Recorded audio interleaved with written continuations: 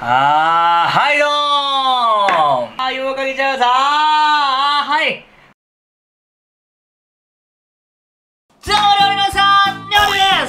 ビアンカよりフローラ派です。今日私が作るのはですね、超簡単です。こちらのツナ缶、キリチキンを使って、最高に美味しいですね。ネギ塩ツナ油蒸し。至高のツナご飯と言っても過言ではないぐらいうまいです。最高にうまい、まあ、ズボラ飯ですね。虚無でやってもよかったんですけども、ネギも刻むし、ツナも使うし、卵黄も落とすし、まあ、なかなかちょっとあれかなと思ったんで、今回はですね、こちらのネギ塩ツナ油飯をやっていきたいと思います。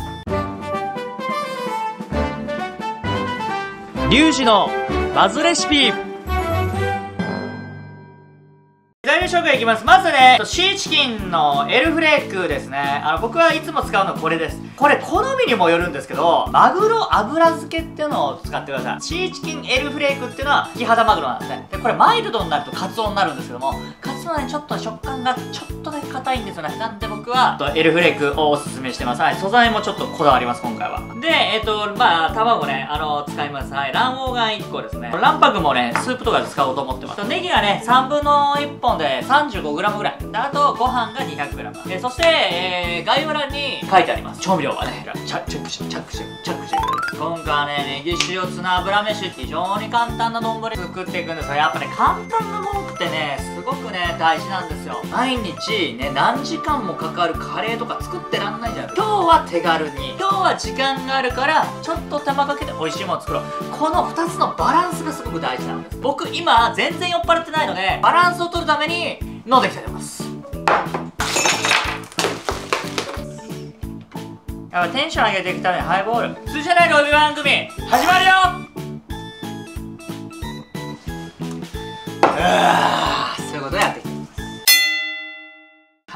はい、じゃあやっていいです。はい、じゃあこれを冷凍ご飯を常備してるんで、えー、大体 200g で冷凍してるものは3分40秒で、えー、大体炊きたてになりますからね。調理はすごく簡単。まずネギ。長ネギね。はい。ネギをね切っていきます。まあまあまあこうやってねえっ、ー、と僕あこれあの裏返して蛇腹にするとすごくあの切りやすいんで。切れちゃったとしてもね。味変わんねえから大丈夫。あのこの味変わんねえからってのは結構大事です。やっぱり、家庭料理において何が重要かっていうとやっぱりねやりやすさなんですよやっぱりね。飲食店さんとかはもちろんあの素晴らしく技術を持ってやってると思うんですけども飲食店さんはねそれでお金取ってます。あのお金をね頂いてるんで手間をかけるっていうところに意味が出てくるんですけども家庭料理を、ね、作ってもねあの誰からもお金取れないですからね。はい。だからあの手間はなければないほどいいです。これから飲食やりたい方っていうのはリュウジのバズレシピを見るのはやめた方がいいです、はい、鳥羽シェフのあの YouTube 見た方がいいです、はい、ロピアさんとかね。コココロキッチンを見た方がいいです。あの方々はちゃんとあのお店でやってる方々ですね。はい。でこうやって蛇腹にしたのをえ切るとみじん切りになってみじん切りにしたのをもうちょっと砕いていくと交わりが良くなります、はい、こんな感じです。これだけでいいんです。はい。切るの。はこれだけ。で今度ねシーチキン。ね開けていきます。はい。シーチキンっていうのはまあこれ水にも油にもあるんですけども油はえっ、ー、とちょっとねこうやって押してねちょっとねえー、これ出してください。えー、この油も美味しさ詰まってるんですけど今回はね別の油で香りをつけたいっていうところがあるんで出してください。これはなんかペペロンチーノとかこうあのパスタとかに入れるといいです。あと焼きそばとかも美味しい。油は抜いてください。はい。ボウルがあった方がいいのでボウルにねボウルちょっと入れます。こんな感じで入れていきます。ということでここにみじん切りした長ネギを入れます。でここにごま油ね。小さじ2杯これ香り付けです。はい。さっきねえーと、油捨てたんですけども、えー、油捨てた代わりにこのごま油の香りをつけていくっていうのが重要でございます。そしてここにお塩です。卵4分の1大体ね。はいこれぐらい。小さじ4分の1ですよ。はい。入れてってください。で味の素。1234振りです。味の素を入れることによってねこの他の具材の香りが立つんですよね。あの人間って覚で感じてるのって大体ね23割って言われてるんですよね。あと8割では何で感じてるかっていうと香りで感じてるんですよ。だから味の素を使ったところで、えー、かあ香りが違ったらそれは違う味なんですよ皆さん。ここはね料理のほんと根幹になってくるんで絶対覚えておく。でここにあのー、黒胡椒ね。黒胡椒入れます。黒胡椒はまあ一つまみね。えー、っとまあ何振りとかでもいいんですけどもまあ思ってるねあの23杯入れていいですしたら味見をする。うん。あこれご飯にのせたらどうなんだろうなっていう風なのを感じます。そして足りなければお塩ね。少し少し足して僕はもうちょっとあった方がいいかなと思ったんで今振りました。でここれです。これでツナフィリングが完成しました。今度ね卵ねえっと卵黄だけえっとご飯にのせたいんで卵黄だけね。で卵白はスープで使いたいんでこれね、えー、ここに卵白だけ入れていきます。卵黄だけ取りたい、はい、こんな感じね。で卵白はスープに使う。卵白入れたカップにだいたいまあ150ぐらいかな。はい入れてください。小さじ半分ぐらいかな。半分ぐらいのね中華スープ。入れます、はい、でさっきねあのー、僕が取り出したこのツナ油もこれ入れちゃいましょうか。はい。ね。油があるとねスープってすごく美味しくなる。でここでちょっと混ぜて卵白ちょっとかき混ぜてでこれレンジに入れますレンジで1分半から2分ぐらいかな。やりましょう。1分半ぐらいかな。でご飯が温まったんでご飯はこっちに入れます。はい。で平らにあのなります。でこうこうしたじゃないですか。こうしたらツナをかけていきます。ごま油ツナがうまいんだよね。ネギ塩ごま油。あーうまいんだこれが。はい。でここにね卵黄をはーはいど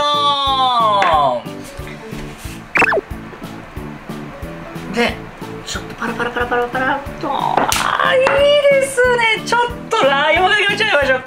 あーラー油をかけちゃいます。あーはい。はい。あーお許しください。はいそしたらはいあった卵白スープも完成しました。はい卵白を無駄にしておりません。えここにこ胡椒振って胡椒振って。あのある方でネギとか振っていただいてもいいですがもう胡椒だけで十分ではい。そしたらもう完成でございます。ネギ塩油飯完成です。それではできました食べていただきます。最初からクライマックス。あーたまんねえな。砂のっけご飯がうめえんだ。うわこれマジでうめえネギ塩だれってさ反則だよね。だって何でも美味しくなるわ。塩気のツナと、ね、ネギの爽やかさものせそしてこのご飯食べる。こんな贅沢がありますか皆さん。スープもいただいてみましょう卵白が固まって具になってるんです。よこれやべえうまい。ツナのうまみがすごい乗り移ってる。うんうまい。そしてこのネギ塩油飯はね味変カウジュレーションレモン汁ちょろっとかけるんですよ。ちょっと。なければお酢とかでもいいんですけどちょろっとかけて食べてくださいうん。酸味が全然違うな。ツナ缶でこんなうまみしてできんだ。ということでさあ。チャンスチャンス。いただきます。いってらっしゃい。うま。ツナ缶とネギ切って混ぜるだけだよ。にしてはめちゃめちゃうまいですけどね。ツナとネギ塩ってイメージもあんまないですしあ合うんだなっていうびっくり感がすごいありますね。淡白な味付けに合うんだよね。やっぱネギ塩は何でも合う。今回ねご飯にのっけてるけど、うん、あの札幌市場塩ラーメンにああいいっすね。絶対うまい。めちゃくちゃうまい。絶対うまい。ごちそうさまでした。じゃあこのチャンネルでですね皆さんのお家にある伝統のズボラ飯を募集してますんでこれねめちゃくちゃ盛り上がるんだよね。コメント欄がね。これにこれかけた時が美味しいです。みたいなのをぜひ言ってください。そしたら僕がパクるかもしれないです。よろしくお願いしますなんかあのこうやってご飯をねあの手軽に美味しく食べられる方法っていうのはいくら知っといても損ないです。はい。なんかねやっぱり炭水化物はね自分の活力になるんでね。ちょっとなんか体重いなって時は炭水化物食べた方がいいです。あの最近はねなんか糖質オフとかすごい流行ってますけども炭水化物って、えっと、人間に必須な、あのー、栄養素なんで制限しすぎも良くないんですよ。はい。だから何事もバランスってことですね。僕いつも料理あの料理してる時に香りがいいんですよ。まあ香りで飲めますとか言ってるじゃないですか。えー、それって意味があるんですよ。はい。だから香りを自在に操った人間がいろんな味を操作できるんです。かき氷のシロップっていちごもレモンも、えー、メロンも全部お違う味に感じるじゃないですか。でもあれって味は同じなんです。舌で感じる味は同じ。鼻つまんだら全部同じ味なんですよ。なんだけどなんであんなに味が違うのかっていうと香りが違うからいちごもメロンもメロンもえー、全部違う味になるんですだから香りってめちゃくちゃ重要なんです。これだけ皆さんに伝えたい。